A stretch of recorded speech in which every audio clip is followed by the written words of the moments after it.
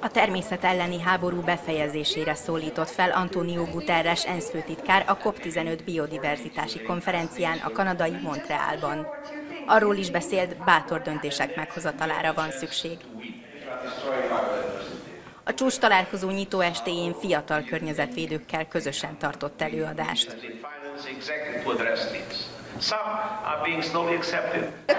Érdekes pontokat hozott fel a beszélgetésben.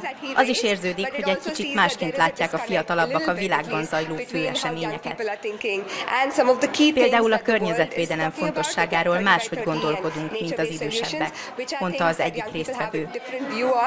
A montreáli polgármesterrel és a kulturális miniszterrel beszélgettünk. Előadott a környezetvédelmi miniszter és az ENSZ főtitkár is, ami nekünk fiataloknak azt jelzi, hogy a döntéshozók elhivatottak, mondta ez a férfi.